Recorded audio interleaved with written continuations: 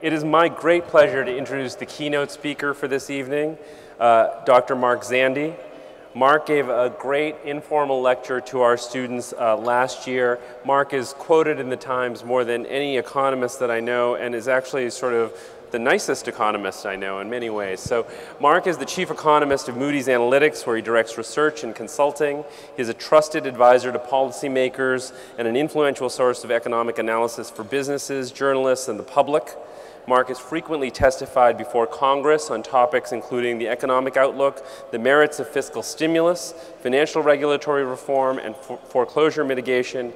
Mark's research interests include macroeconomics, financial markets, and public policy.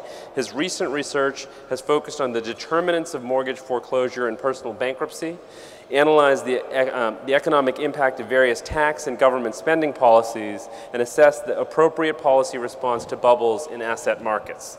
Mark is the author of Financial Shock, an expose of the financial crisis, and his forthcoming book, Paying the Price, provides a ro roadmap for meeting the nation's daunting fiscal challenges. Dr. Zandi received his PhD at the University of Pennsylvania and received his BS from the Wharton School at the University of Pennsylvania. We forgive him for those affiliations, and we very much welcome him on the stage. Uh, Dr. Mark Zandi, thank you very much. Thank you. Very kind of you. Thank you. Uh, th thank you, Vishaan. Right um, can you hear me? Does that work? Can you hear me okay? Okay, good. I want to thank uh, Vishaan for the opportunity to be here at Columbia as well. Uh, it is a pleasure. Um, I am a little surprised he gave me two hours to speak, though. Yeah.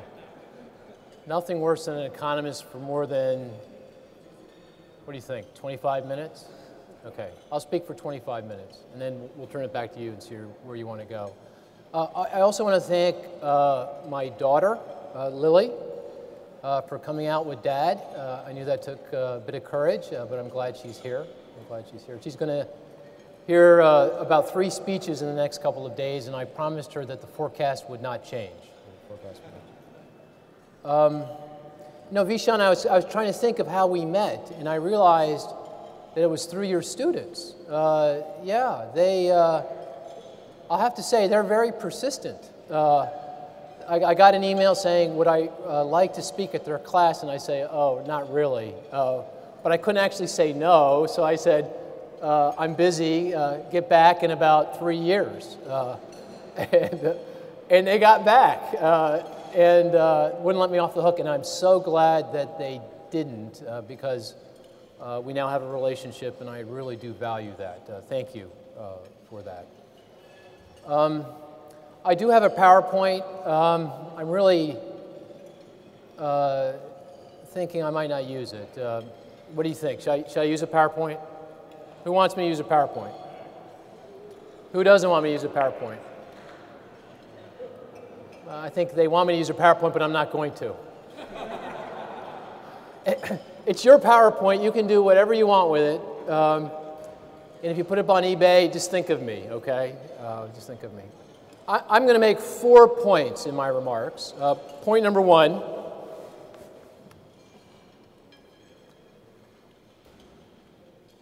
the economic recovery, and we are in a recovery, the recovery began nearly a year and a half ago, has lost a significant amount of momentum. So let me give you a number to uh, give some meat to that. GDP, the value of all the things that we produce, grew 3.3% annualized in the second half of 2009, 2.7% in the first half of 2010, and in the second half of this year, the current period, we're now growing about 2% annualized. Just to give you context, the economy's potential rate of growth, that rate of growth consistent with a stable rate of unemployment, is between 2.5 and 3%. So we're not growing fast enough to create enough jobs to even keep the unemployment rate at its current 9.6%. The unemployment rate will rise. Uh, and I would not be surprised if it were to rise back into double digits by early 2011, spring of 2011. The slowdown in the economy that we've experienced isn't totally unexpected. Um, The economy early in the recovery was supported by temporary factors. Uh, the most notable and a factor that's generated a great deal of debate is the fiscal stimulus. In, in my mind, the fiscal stimulus did precisely what it was intended to do. It was designed to end the Great Recession and begin an economic recovery, and that's exactly what happened. The maximum benefit from this fiscal stimulus took place in June of 2009, and that is the precise month in which the stimulus in which the recession ended, according to the National Bureau of Economic Research. Now, of course, the stimulus was never intended to be a source of long term economic growth, and it now is beginning to fade. We went from no stimulus to a lot of stimulus, and that helped to juice up economic activity, and now we're going back to no stimulus, and in that process, the economy is beginning to slow. Uh, that should be no surprise to anyone, and if policymakers, if Congress and the administration don't come forward with any additional stimulus, and at this point in the wake of the midterm elections, that seems unlikely, then the stimulus will actually become a drag on economic activity as we make our way into next year. But that's no fault of the stimulus. The stimulus did precisely what was intended. It ended the recession, it jump started uh, an economic recovery, but it was a temporary source of growth. I will have to say, however, that the slowdown in economic growth that we've experienced uh, since the beginning of the year is more significant than I would have anticipated. So if I were here six months ago and we were talking about the latter half of 2010, uh, I would have argued that the economy would still be struggling to uh, grow, but not to the degree that it is. And I think the reason uh, for this uh, surprising slowdown in economic activity is the European sovereign debt crisis. That was a surprise to me. It came out of nowhere from my perspective. At least the virulence of it did back in the spring. And the link between the European sovereign debt situation and our economy is the equity market. Uh, usually, the causality between the, the equity market and the stock market, uh, the economy run in both directions. And it still does, but it feels to me like the causality is very powerfully moving from the equity market to the economy, more so than any time in the past. Businesses are using the equity market as a signal with respect to whether they should go out and invest and hire. And perhaps more importantly, high income households are very attuned to their balance sheet because their nest eggs have been significantly diminished by what we've been through. They're very sensitive to any changes in that balance sheet, in their net worth, and change in stock values. And moreover, uh, enhancing this relationship between the stock market and the economy is that we, all, we are all getting a lot older. Now, here's the most important statistic of the day. In fact, Vishaan, I'm going to ask you what is the largest single year age group in the country? There are more of these folks than any other age. Is it, is it three? Is it 83? What age is it? 45? That's wrong. That's wrong. That, 40, see, that's spoken like, that's truly what an economist would say, 45 to 65, but not a real estate professional. They want precision. They want precision, yeah. So the answer is, how old are you, by the way, Vishaan? Uh, that's, there you go. I, the, the answer is 51, 51. I, I happen to be 51. I happen to be 51. This is the teeth of the baby boom generation. There are a lot of 51 year olds, 52, 50, uh, 49 so forth and so on. So if you're 51 years old and your nest egg is now a third of what it was or 25% of what it was, you're focused like a laser beam on your balance sheet because you know that you don't have a whole lot of time to get it together. The other reason why the stock market is so important to the behavior of particularly high income households, and they're very important to overall consumer spending, is that people's expectations about future asset price growth have shifted. So, Vishaan, if I asked you, say, think back five years ago in the boom, what would be av- the average annual growth in uh, the value of your entire portfolio, your the asset side of your balance sheet? How fast do you think that would, would grow? What would you say? Five years ago, we were in the boom. How much? 8%. Vishaan is very conservative. Um, uh, but reasonable answer. Uh, pension funds would say eight and a half, but you know, eight percent is not bad.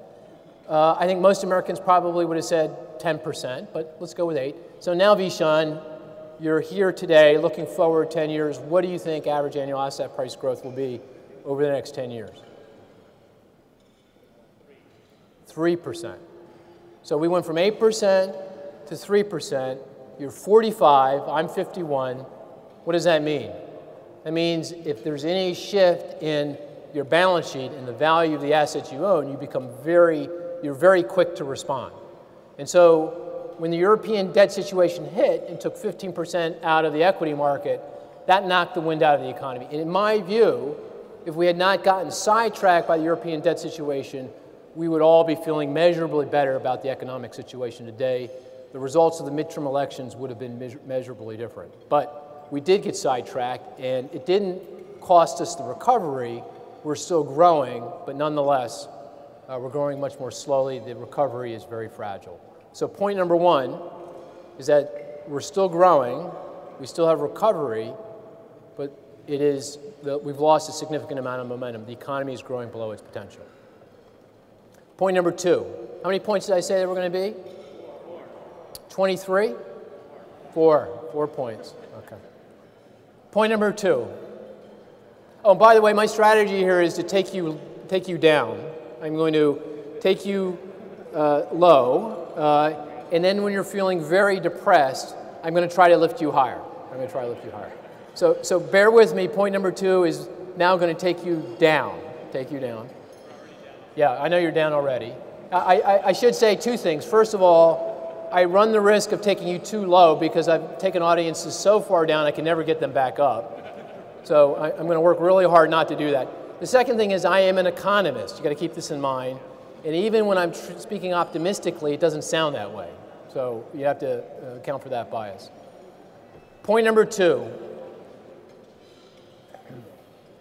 The next six, nine, perhaps 12 months are going to be very uncomfortable.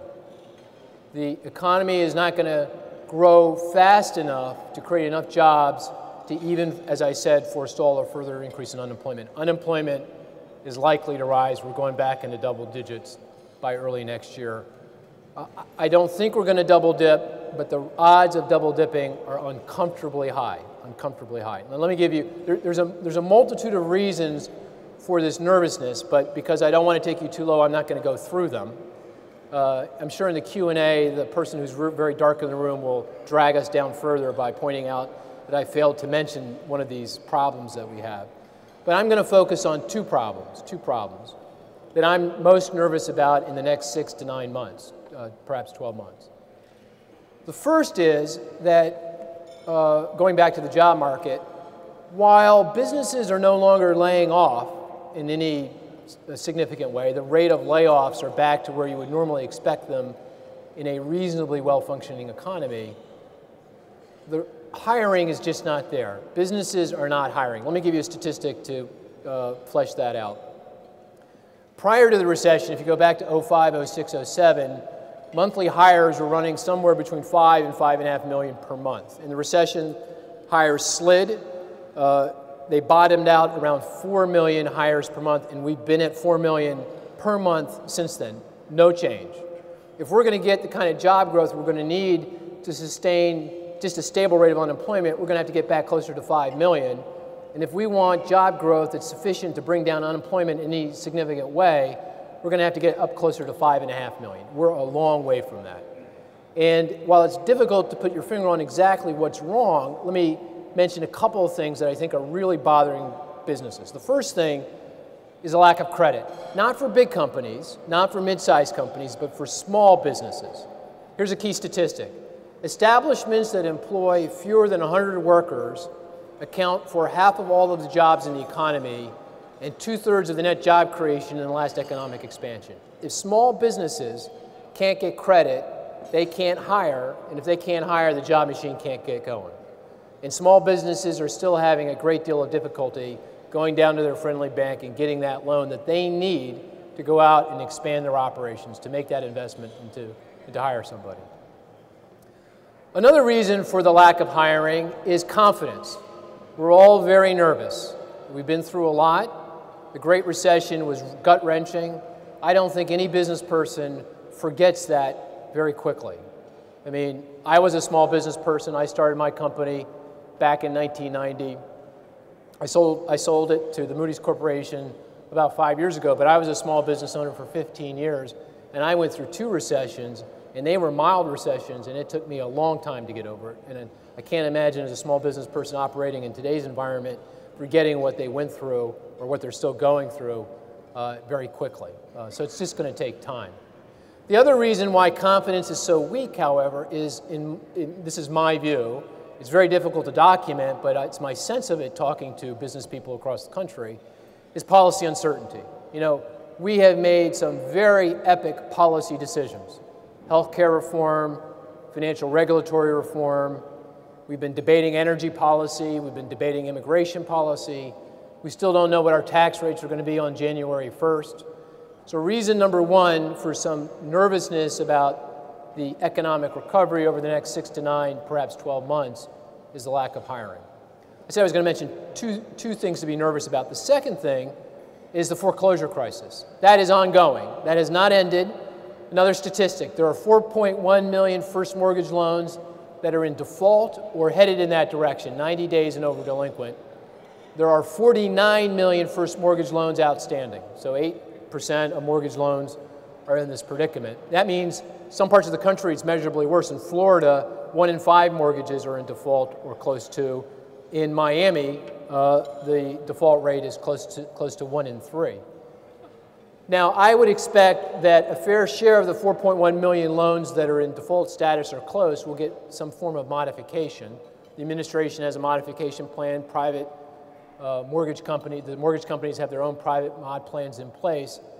Uh, generously speaking, I would anticipate a couple million modifications that will occur, but that still leaves 2 million plus uh, loans that will go through the foreclosure process to a distressed sale, to a foreclosure or short sale.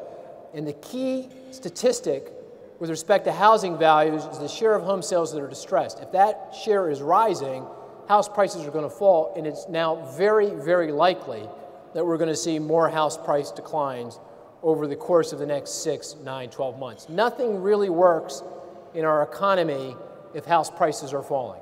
The home is still the most important asset in most people's balance sheet, going back to my earlier point about the sensitivity that people have to the, their, their net worth. And uh, again, going back to small businesses, most small businesses use their home as collateral when getting a loan. And again, I can testify to this, to testify to this personally.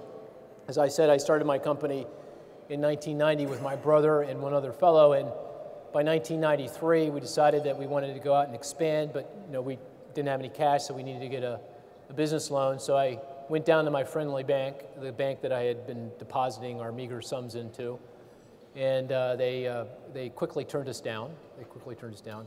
And then I went to my really friendly bank, the uh, community bank, Malvern Federal Savings Bank, which is still with us and doing quite well, thank you. I paid back my loan. Um, they gave me a loan. Now, of course, when I signed the, uh, when I got the loan, I had to sign a stack of papers about that high. And one part of the stack was me signing away Lily uh, to the bank, and the other was signing away my home to the bank. Now, my, I don't think my wife really understood. She had to sign too, of course. I'm not sure she really understood what she was signing. It all worked out in the end, but nonetheless, it was uh, pretty nerve wracking. But What's my point? My point is that many small business people across the country use their homes or their commercial real estate as collateral to get that small business loan. If housing values, if commercial real estate values are uncertain or under pressure, they're not going to be able to do that. They're not going to be able to get that loan, and the job machine is not going to be able to get going. Another reason for some concern. How are you feeling? Low? Depressed? I succeeded? Okay. That's the conclusion of point number two. I am now going to proceed to lift you higher. Point number three.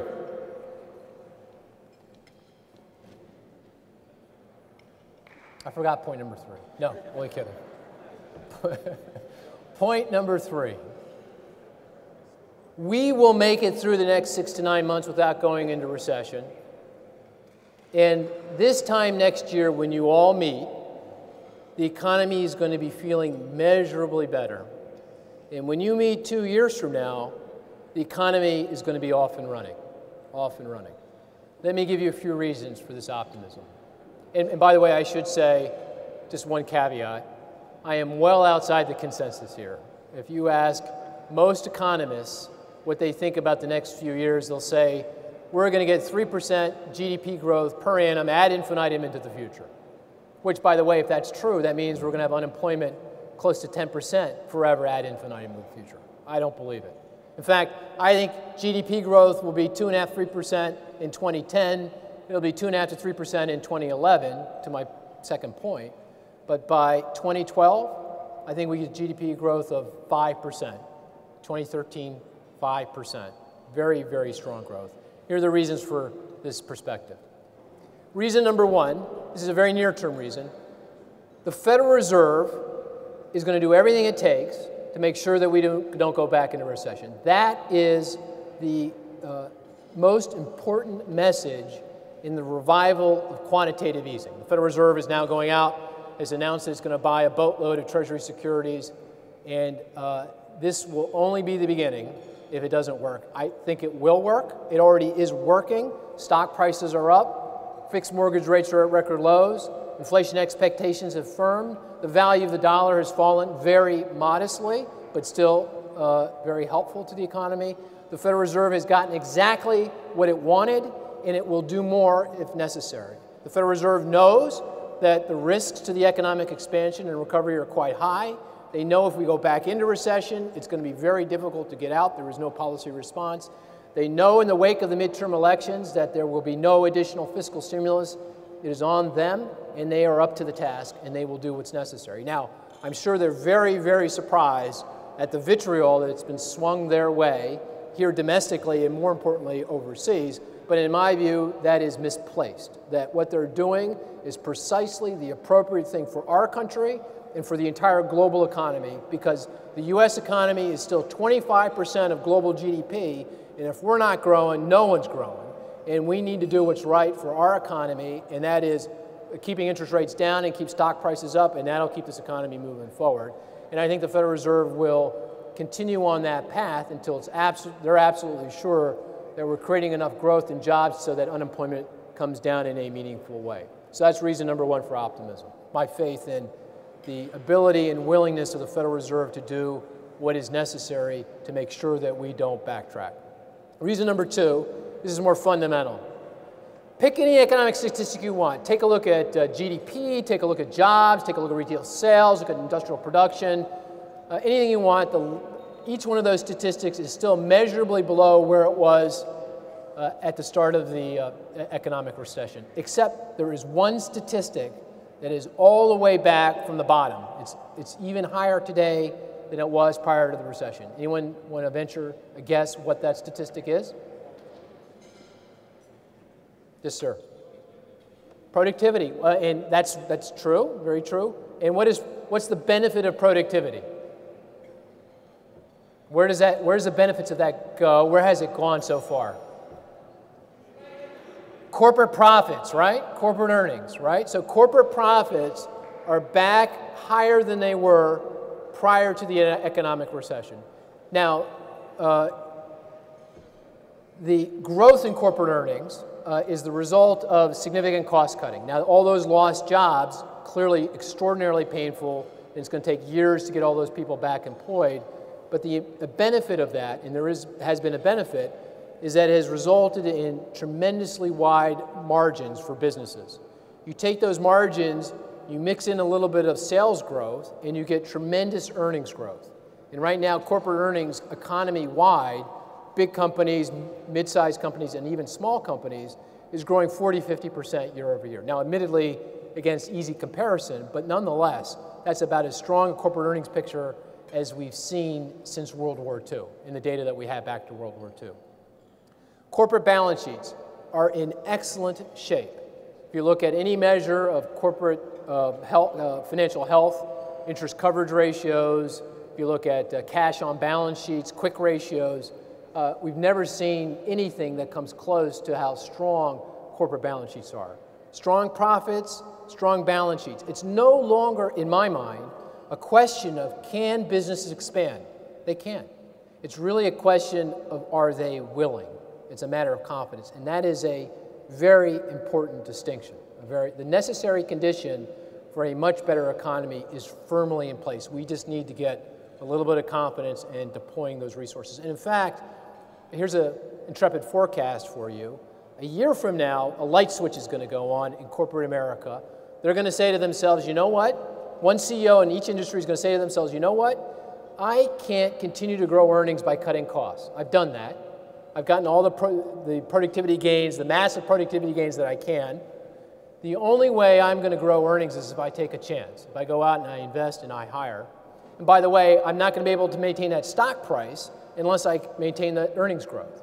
And once one CEO in each industry decides to turn on the light switch, we're going to see CEOs, follow, all CEOs follow suit, and we're going to go from 75,000, 80,000 in monthly job growth to 150,000, 200,000, 250,000, 300,000 in monthly job growth. And it's going to happen almost literally overnight.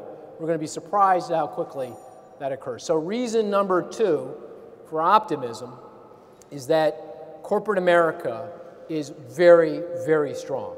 Very strong. Reason number, how are you feeling? Better, right. I knew the corporate earnings thing would really get you going. Yeah. If I was giving this speech in Des Moines, it wouldn't really resonate as well, but I know here in this room uh, that would work. Reason number three for optimism. W would you mind if I take my jacket off? It's very hot. Is it okay? I, I notice you guys are all very formal, but is that okay? I, I noticed Vishaan, no matter how, how uncomfortable he was, he wasn't going to take off his. Uh, uh, yeah, I'm taking this off though. Lady's going to say, Dad, how could you do that? Now she's going to say, Dad, how could you say that? Where was I? Oh, reason number three for optimism. We are righting the wrongs that got us into this mess. The most fundamental reason for this mess we're in are the millions of bad loans we made in the boom and the bubble. And we're well on our way to working through those loans. We still have a foreclosure crisis. We still have a couple million first mortgage loans to work through. But we've worked through two thirds of the problem loans that were out there uh, at the beginning of the, of the economic crisis. And the deleveraging process that households are now going through, the reduction in their debt, which is a significant weight on consumer spending, will come to an end about this time next year. The key statistic for determining the end of household deleveraging is the household debt service burden, the proportion of after tax income that households must devote to their interest and principal payments to remain current on their debt. At the current rate of deleveraging, if that occurs for one more year, the deleveraging that occurred over the past year occurs for one more year, and interest rates remain where they are, which is a reasonably good bet, then a year from now, the household debt service burden will be near a record low. And if deleveraging continues for another year and a half and interest rates remain where they are, a year and a half from now, the debt service burden will be indeed at a record low. At that point in time, in my view, the deleveraging process will come to an end. We'll go from massive reductions in debt. I'm not arguing that we're going to get significant increases in credit. People aren't going to go out and borrow aggressively again. But simply going from significant declines in, uh, uh, de uh, in debt, deleveraging, to no deleveraging is the lifting of a significant weight on consumer spending on an economic activity. And that's going to happen just about this time next year into early 2012. One more reason for optimism. The level of economic activity, as I've alluded to earlier, is incredibly low relative to any demographic households, population, age composition of the population. And at some point, we're going to see a significant unleashing of what is developing, what I would call that's developing is called pent up demand. So let me uh, illustrate this point in the case of the vehicle market. The vehicle, we're selling vehicles at an annualized rate of about 11.5 million units. In a normal, well functioning economy, if everything was functioning uh, appropriately, we would be selling somewhere between 15.5 to 16 million units. So right now we're selling at well below trend, understandably so. The problems in the job market, the lack of credit, the lack of confidence. But as soon as we get a little bit of job growth, a little bit of credit, and a little bit of confidence, we're going to see a significant pickup in vehicle sales, go back closer to its demographic trend, and then probably beyond that. People are pulling back on their purchases. They, they demographically would like to buy, There's, their families are growing and, and aging, and they would like to go out and purchase things. Historically, they have, but they're not doing that now because they're nervous. But once they're more confident, they're going to step up and go out and spend a lot more. We're going to see a lot of economic activity generated by this unleashing of pent up demand in the vehicle market, through other kinds of consumer durables, and even in the housing market. Even in the housing market. So, reason number four for optimism is the fact that the level of economic activity is very, very low relative to any measure of demographics. And demographics don't mean a whole lot in any given year, but they mean everything over periods of three to five to 10 years. They are very, very important to uh, economic growth, and they're on our side. How are you feeling now? A little bit better? Okay. Point number four, the last point, and I'll end here.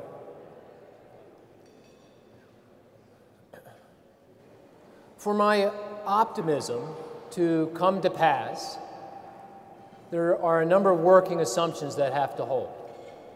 In fact, there are a fair number of working assumptions that have to hold. I'm not going to go through them, but I'm going to mention two because they're very important. The first working assumption is that our economy broadly has to make a graceful transition away from a consumer led economy to an economy that's led by exports and business investment. That high income households, they're focused on their net worth. They know they don't have much time before retirement. They can see that the Fiscal Commission is trying to scale back Social Security and lifting the retirement age, and they need to save more. Lower middle income households, they can no longer borrow like they did because of the situation that we're in.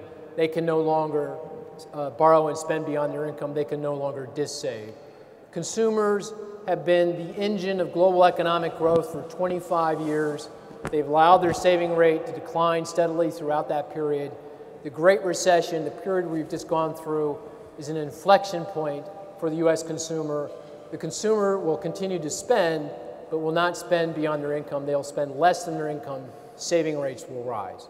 If this is the case, then if we're going to enjoy the kind of growth rates that we have in, uh, ex experienced historically, we need another source of growth. And that source of growth, in my view, is selling what we produce to the rest of the world, exports, and then investing here in the United States to be able to produce the things to export to the rest of the world. And if you're an American company that survived what we went through, then you must be doing something right. You have to have a market niche, you have to have a, a very competitive cost structure. And we do many things right, we export many things very successfully, and we will continue to do that. Aerospace, computer technology, software, sophisticated instrumentation, materials, pharmaceuticals, um, uh, agricultural products, processed foods. And also, going forward, we're going to export things that we've been doing for many, many years, long before anyone else on the planet, and we do them really, really well. Services, architectural services, engineering services, management consulting services. Yes, financial services, financial services, legal services, economic consulting services right? I, I make models that the European banks are using in their stress tests. I produce those models in suburban Philadelphia because it's the best place to find the most qualified people to produce those models for the rest of the. Bank of China uses my models. I wish they would use them more, but uh, you know, they are using them. Using. Services embody our comparative advantage as a nation, our educated and skilled workforce. That is what makes this country great. It's our people and services embody the best and the brightest. And we are going to do, we've been doing it for years. We will continue to do it. And we're going to sell those things to the rest of the world. And it's going to drive employment and economic growth long into the future. This is a working assumption. This has to happen in a reasonably graceful way. We have to make this transition. Working assumption number two. And here I'll end. And this, this is an assumption you may not buy into, but I'm going to try my best. Anyone want to take a guess at what the working assumption number two is? It's the elephant, the big elephant in the room. It's our fiscal situation, right? In my view, policymakers had no choice in how they responded to the financial crisis and the Great Recession. You can take exception to any individual aspect of the response, but the total totality of the economic response was, in my mind, incredible. It was unprecedented and it worked. If they had not done what they did, we would be in a measurably worse place today. Now, as they say in economics, there is no such thing as a free lunch. It cost us, right? The fiscal stimulus, when you add it all up, was $1.1 trillion. The budget deficit in fiscal year 09 was 1.4 trillion. The fiscal year uh, 2010 budget deficit was 1.3%, 9% of GDP. Our problems are very serious. We have to address them. We have to address them. But I'm here to say that I think we will. We will. The key reason, couple key reasons for this optimism. One is our problems are not as serious as we think. They're serious, but they're not overwhelming. Let me give you some, let me do some arithmetic for you. In fiscal year 2010, the $1.3 trillion budget deficit was 9% of GDP. In a reasonably well functioning economy, the budget deficit, the cyclically, so called cyclically adjusted budget deficit, is 5% of GDP. We're going to go from 9% to 5% over the next couple, three years if my script holds in any reasonable way. Fiscally sustainable budget deficit, that deficit that we need to uh, get to to be sustainable so that we can make our interest payments so that they don't balloon out and swamp us is 3% of GDP. We need to go from 5% of GDP to 3%. That's a two percentage point gap, right? To put that in dollar terms, that's $300 billion per year right now. We have to close the $300 billion budget gap. Now, that's a big number, but that's doable. That's doable. Now, just for context, Iraq and Afghanistan are costing us $100 billion a year. Now, as a prudent, if you're a prudent budgeter, you would assume we're going to spend $100 billion forever in Afghanistan and Iraq. But, you know, maybe we get lucky at some point in time. But nonetheless, just for context. So how are we going to close that gap? Well, the fiscal, the chairman, the, the, the, the uh, two chairmen of the bipartisan fiscal commission reported out yesterday and their proposal on how to close the gap. And you know what? They have it pretty much just right. We need spending restraint and we need tax cuts. On the tax side, we need to focus on the tax deductions. Uh, mortgage interest comes to mind pretty quickly. And on the spending side, we need to focus on medical care costs and Social Security. And I think, in fact, when it's all said and done, that's precisely what we're going to do. We're going to close that $300 billion gap by focusing on those simple things. It's not going to happen in 2012, 2011 or 2012, but in the next presidential term, I think we're going to find the political will to do it. And one final point. We don't need, the United States does not need to close its budget gap, that $300 billion budget gap, in one year. We're not Greece.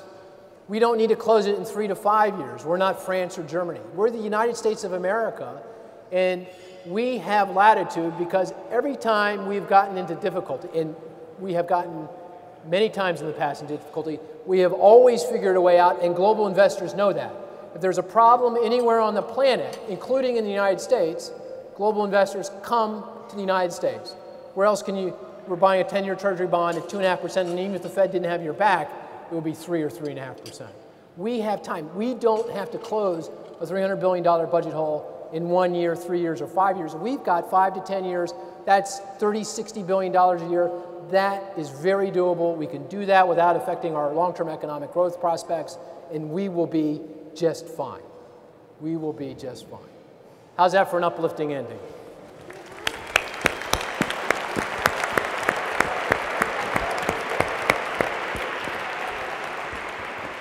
Vishaan is saying to himself, thank goodness he didn't use the PowerPoint. Yeah. No, no, no. I took off my jacket just for you. Thank you. I, it's just, it's amazing. You know, there's a, um, I, I love, what's that? Two guys without a jacket. There's an incredibly intelligent but slight geekishness that I just love about you. I appreciate it. It's very kind of you. I really No, no, appreciate that is- comment. I like the is- geekishness This part. is this Yeah. is Columbia University. Yeah, So, um, do we have some questions for uh, Dr. Zandi? Dan Doctoroff. This is a plan, by the way. This is a plan. Well, we don't know yeah. what he's going to ask. Yeah, we don't know what he's going to ask, thing. right? Yeah. He wants to know about the Yankees. Why didn't they? Are you a Yankees fan? Yeah. yeah. Why didn't they win the World Series? I really want to know why the Phillies didn't win. I don't know. Yeah.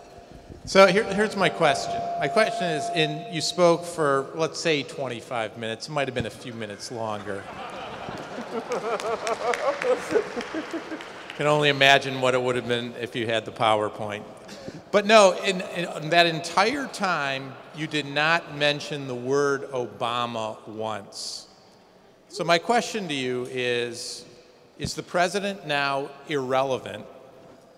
And if not, what's the one thing that you think over the course of the next year to two that he realistically could do that would affect things in a positive way? Yeah, I didn't know that. I didn't know that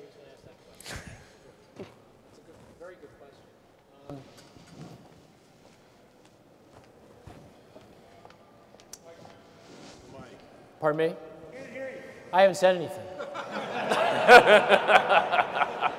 I'm, I'm, uh, the geekishness part is taking over, and I'm trying to uh, formulate my response. I'll, I'll respond in two ways. First is, uh, I do not think that there will be any major economic policy made in the next two years. That, from that perspective, uh, I would say that the administration is irrelevant, yes. Uh, that in the wake of the midterm elections, the political environment has shifted to the degree that I think it will be very difficult to do anything of major consequence. The only, the only uh, reason I would be wrong uh, in that statement is if things go badly wrong. If we start going south, nothing crystallizes the thinking of even a Tea Party member than losing the election, and they would if the economy goes south. So that would uh, jumpstart some policy making. But other than that, you know, if the economy sticks roughly to the script I laid out, I don't see any significant economic policy making. Now, I, I will say tangentially that there is an upside to that in the context of my policy, uh, argument about policy uncertainty. I do think there is some advantages to having a policy timeout so that we can cross the T's and dot the I's on healthcare reform and financial regulatory reform, nail down the tax code, and provide that clarity that businesses people need to go out and start to expand and to, to invest. So, uh, you know, I don't think it's uh, the fact that we're not going to have any major economic policy, you know, it does make me a bit nervous in the context of the risks that we face, but it does have some advantages that could, that could uh, uh, help support the recovery going forward. Now, having said that, uh, if, if the really the second part of your question is, what could he do that would be of substance going forward?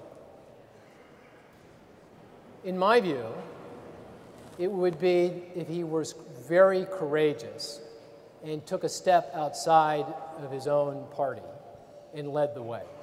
Let me give you a case in point. Uh, George Bush, number one, uh, the president in 1990, said, I'm not going to raise taxes. There's no, no read my lip pledge. And he broke that pledge. He raised taxes. And in my view, that courageous event led the, led the way and, and laid the groundwork for a decade of fiscal re restraint, discipline that led to a budget surplus by the end of the decade. Now, clearly, President Clinton followed on. He was courageous in his own way uh, and uh, followed through with President Bush. But President Bush gave up his second term in many respects because he did that. And I think if President Obama did the same thing and took that chance, he may very well, well win the election because, in my view, the economy in 2012 is going to be very different than the economy in 1992. The, the economy is going to be at his back. It's not going to be in his face, as it was this year or was, as it was in 1992. But if he took that chance, it would really lay the groundwork for him doing something very sub substantive uh, and actually uh, hitting my bogey in 2013 and doing and, and, making those changes that I think we need to make. And in fact, I'll say this: uh, I didn't mention President Obama, but I think he's up to it, and I think, in fact, he will will go down that path. That he will do something that is outside the box uh, for him and for his party uh, and that will lead the way and show the. We need a leader. We need leadership now, and that will be the leadership we'll need to really make uh, the changes and, and, get to the optimistic outlook that I've articulated.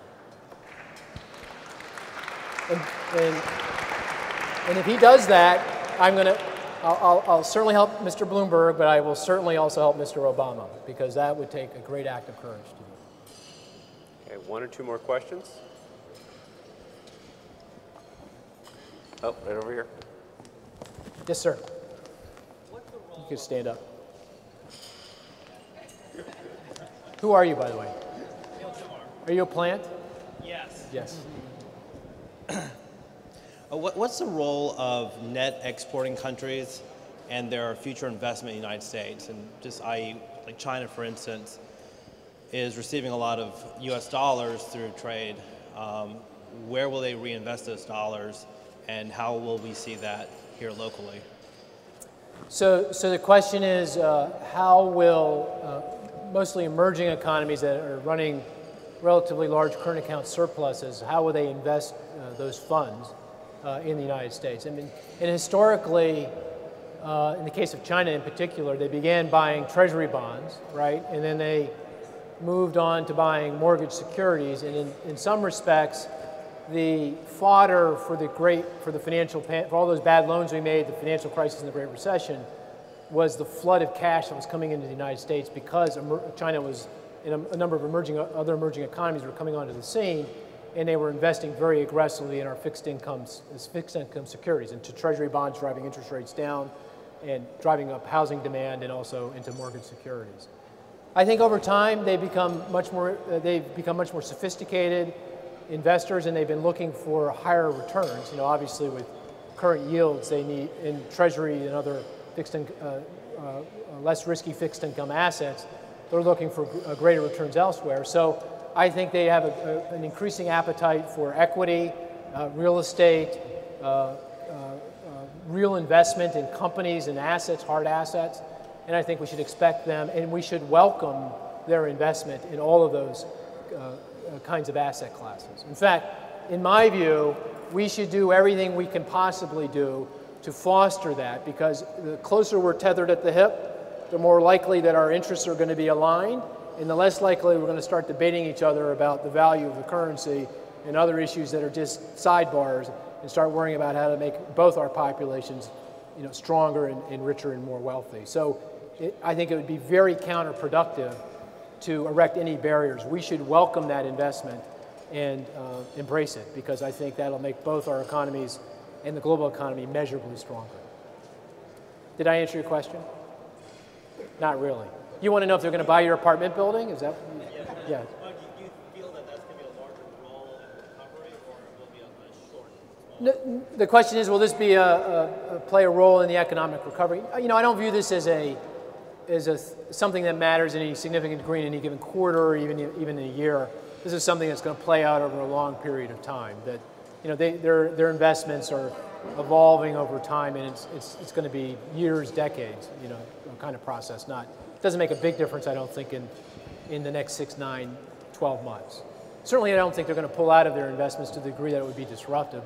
That would be very counterproductive because they're already pretty closely tethered to us uh, at this point. Are we getting tired? Or you want well, to I'm going to use director's prerogative yeah. to ask last question. Okay. Was there any truth to my reckless assertion that denser urban areas will act, are actually going to fare better? You know, I was thinking about that. I, I, uh, I have to think about that some more. I mean, it's an intriguing idea. Uh, it makes sense, intuitive sense. But I, can I reserve uh, an opinion All on right, that? so yeah. we'll wait for yeah. the analysis yeah, on that. I think it's. Uh, but I think we should probably let class out. Thank I think you. they want to it go was a pleasure. party. Thank you. But thank you very much. Really appreciate it.